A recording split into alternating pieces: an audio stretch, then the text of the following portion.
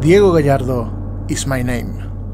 Japanese street food is my passion. For years, I lived in Japan and learned from the masters until I became one.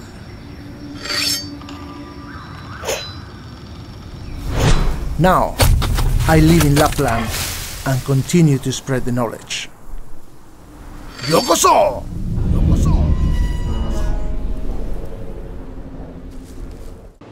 So hello guys and welcome to Saiko by Jounin Kauppa.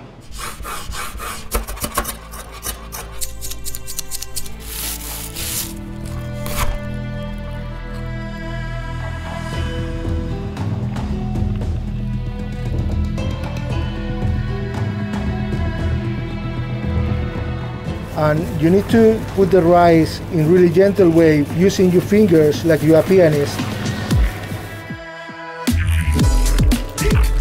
exactly 15 grams rice is the perfect to do normal nigiri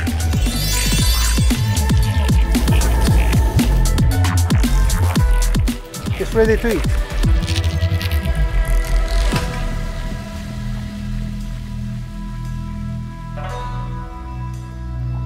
Remember to subscribe.